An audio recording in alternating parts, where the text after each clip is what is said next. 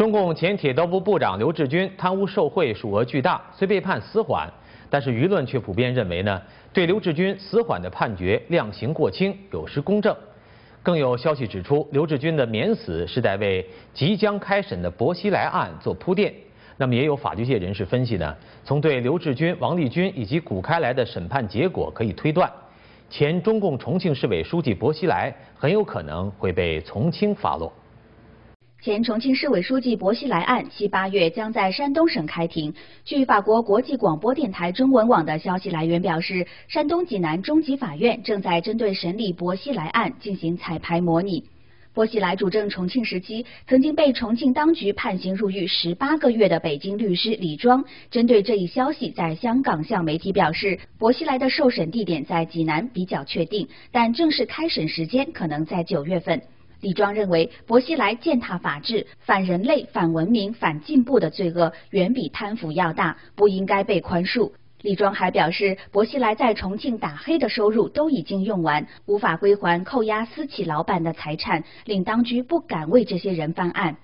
法广的报道引述知情者的消息说，当局对薄熙来的指控将以受贿罪为主，主要案情是大连富商徐明为薄熙来幼子薄瓜瓜在英美留学提供的各项开支。另有接近重庆市政府的消息来源向法广透露，薄熙来将被控收取八百万人民币的贿赂，刑期将会是十年到二十年。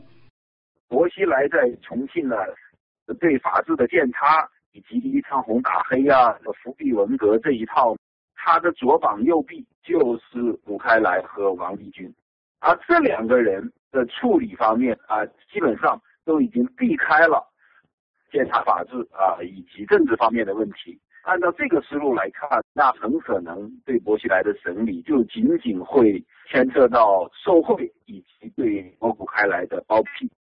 实际上，薄熙来案件牵扯的问题远远不止这些。兰树表示，关键是当局敢不敢去接薄熙来真正的罪行，以及在重庆期间他所干下的这一切事情的黑幕。尽管外界认为薄熙来在任期间的所作所为已经构成了颠覆国家政权罪，但有律师表示，依照中共惯例，这一罪名是中共为拘押异议人士而准备的。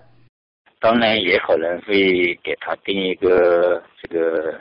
渎职罪啊、玩忽职守罪啊之类的一些其他的罪名。我认为一般不可能给他一个颠覆国家罪。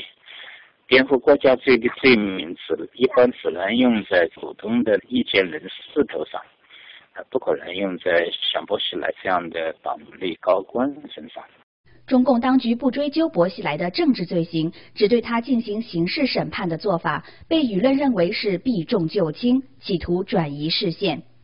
整个外界其实最关心的，从一开始就不是薄熙来他受贿了多少钱，而是王立军他出逃的时候，他带到美国领事馆的有关于薄熙来在辽宁执政期间，以及在重庆执执政期间，以及他最早在大连担任市长期间贩卖。人体的尸体，以及这件事情背后所牵扯的活体摘除法轮功学员器官这些事情，这个是国际社会最关注的事情。还有评论认为，如果从政治角度对薄熙来进行审判，追究薄熙来的责任，将会给整个中共政坛带来一场大地震。这恰恰是中共当权者所惧怕的。这个东西一旦摆上台面，不光是薄熙来受到。损害，而且还会使整个党的形象受到损害，整个党就会失去它的合法性，它的地位是岌岌可危了。大纪元评论指出，像薄熙来这样的迫害人权者，迟早要偿还他们所犯下的罪行。即使在现行法律下暂时逃脱了罪责，但迟早一天会受到历史的清算。